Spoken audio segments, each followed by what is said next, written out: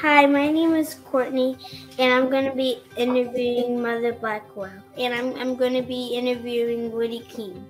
What does Black history mean to you as a man of faith? Hi, Kourtney. Thank you for that question. Um, Kourtney, I believe as a man of faith, celebrating Black history is an opportunity for us um, to look back and look back at our history as uh, a people in this country um, certainly, no other race of people in this country uh, have endured what we as Black people have endured in this country. So when we think about coming through things like slavery and segregation and, and Jim Crow, you know, there have been a lot of adversity, there's been a lot of tragedy, um, but there have also been a lot of triumphs for our people. Um, so I think as a man of faith, it's just an opportunity for me to thank God from where He brought us from. Um, you know, certainly we've come through all of that and we've arrived at a place where Black people now have many opportunities. You know, um, you know, Black people are living well and um, we're thriving. Certainly, we have a long way to go to still be recognized as equals on a lot of fronts. Um, but we certainly can celebrate um, that we are where we are and we've come through what we've come through. Tell us, uh, tell us about a moment of Black history. Oh my goodness, two, two, two moments of Black history that I never shall forget. Number one, the ride to 1968. In 1968, I shall never forget that. That was the most frightening thing I had ever seen. And um, it's something that's in the memory. And my sons, that my grandsons letting me know my time is running out. But the most memorable uh, thing that I remember in 1960, uh, back in 1968 was sitting under the same roof with the Reverend Dr. Martin Luther King. And uh, he was speaking on segregation. And he said that there was a time that man and segregation came together. And from there came the birth of integration. And I was so excited. I was so happy to see this man and to hear this man. As y'all know, I don't drive. I put all of my money in the basket, everything I had I put in the collection basket because he was such a great uh, speaker. And I, I was so happy to be able to tell my children, my grandchildren, and now my great grandchildren, I sat under the same roof with the Reverend Dr. Martin King. Um, I think for me, um, the most significant event in Black history that I've witnessed in my lifetime would definitely have to be the election of um, President uh, Barack Obama. Um, I think me and a lot of other people probably never thought we would see um, a black president in our lifetime. Um, so that will always stand out as as monumental to me. I can remember, um, you know, that election was in 2008, and I volunteered to work the election polls. It was something I had never done before, um, something I've never done since. But I knew that that time was going to be, you know, just his, historical.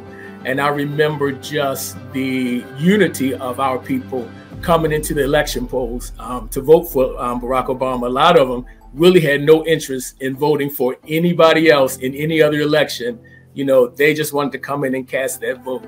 Um, so I think that's something that I will never forget. Even that night um, when they finally brought, uh, broadcast the results and he won, it was just surreal. Like, like really, this is happening to us. So yeah, that will always stand out to me as one of the huge events in Black history that I've witnessed in my lifetime.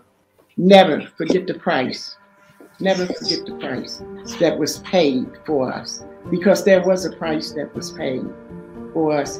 And it was a big price, but we made it. God was with us. We were praying women, we were praying men, and through all of our hardships, even if we had to go into our little huts and be quiet and pray because we never knew when they were going to knock on the door and let you know, no praying in there, no praying in there, cut out that foolishness, cut out that foolishness. But we trusted God and we believed God. And look at us now. We have teachers, lawyers, doctors. We have all kinds of people that I used to hear my grandmother say, one day, one day I will have doctors and lawyers and teachers in my family. And I can remember being a little girl of maybe six or seven, and I was saying to myself, Grandma, you really lost it now. You really lost it. But guess what? We have a lot of them in my family now. In my family now, there are a lot of professional people. And so it's just not uncommon when these grandchildren and great grandchildren walk up and they say, Well, what are you doing? What's on your mind? They say, Well, you know, Grandma, I'm going to be like my Uncle Ronnie. I'm going to be a physician's assistant. Or I'm going to be like my Aunt uh, uh, uh, Baby. I'm going to be the teacher. Oh, I'm going to be the doctor. And I sit back and I remember my grandmother over 70 some years saying that this day would come. And the only thing that I want to say, never give up the dream.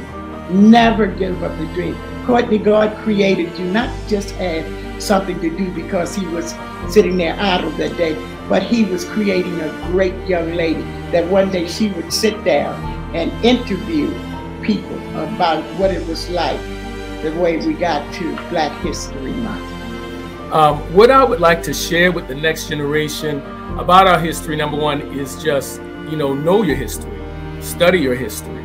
Um, and, you know, one of our greatest resources for history is our seniors and our elders. And I would encourage the young people to get to know the seniors and the elders in their families and in their communities um, and sit down and have a conversation with them um, because a lot of the history that we read about in our textbooks and that we study online, our seniors and elders, you know, they've lived it. There was an entertainer, and his name was James Brown.